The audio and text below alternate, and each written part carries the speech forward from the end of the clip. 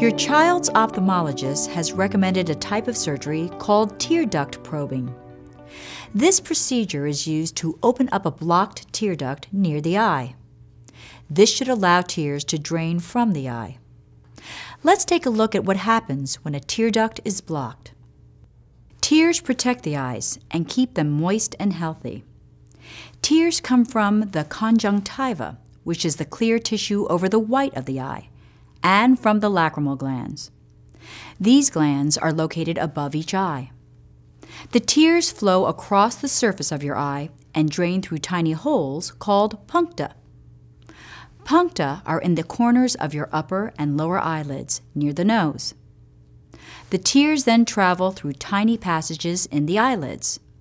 They eventually go into the nasolacrimal duct before emptying into your nose. This is why your nose runs when you cry. When the tear drainage system is either partly or completely blocked, tears cannot drain normally. The eye becomes watery and irritated. It can also be constantly infected.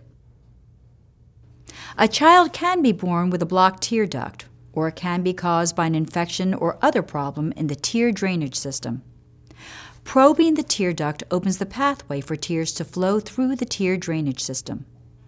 That will prevent the constant watering and discharge from your child's eye. Tear duct probing is usually done as an outpatient procedure. It may be done in the doctor's office using anesthetic eye drops to numb the eyes. Or the procedure may be done at an outpatient surgery center using general anesthesia, so your child is in a deep sleep for several minutes. To open a child's blocked tear duct, an eye surgeon may probe the tear duct. The surgeon will dilate or widen the puncta with an instrument. Then he or she will gently pass a very thin probe through the puncta into the tear drainage system, then into the back of the nose. This may clear the blocked duct, allowing tears to drain again. The surgeon will remove the probe and check to see that the duct is open.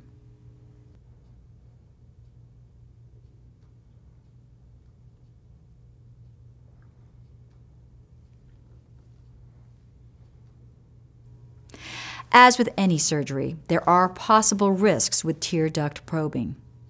Tear duct probing risks can include sore eyes, red eyes, eye infection, tear duct not opening, bleeding, and problems from anesthesia. An alternative to tear duct probing may include putting a tube called a stent in the duct to open it. Another option may be surgery to create a new pathway for draining tears. These options are typically used when probing did not help.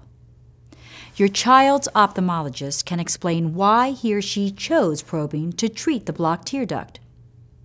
Your child does not have to have the blocked tear duct treated.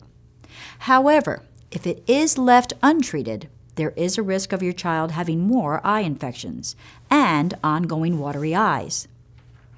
If you have any questions or concerns about tear duct probing, ask your child's ophthalmologist. He or she will be happy to help you understand the risks and benefits of this procedure. Also, if you have any questions or concerns about your child's eyes or vision in general, don't hesitate to bring them up. Your ophthalmologist is committed to protecting your child's sight.